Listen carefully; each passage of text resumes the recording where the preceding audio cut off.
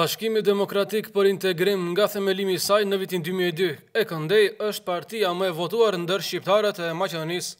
Madje, po për aq vite është edhe partia e cila i ka përfaqësuar shqiptarët në ekzekutiv.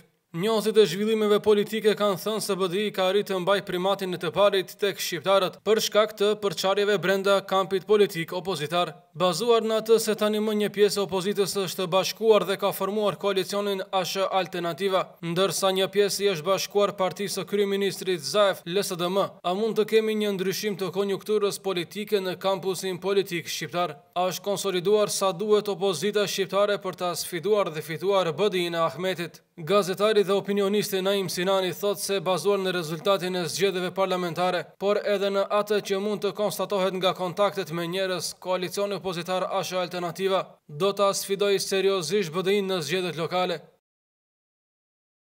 Kjo nuk do të thotë se opozita duhet të rrijë duarkryq dhe të presë datën e zgjedhjeve.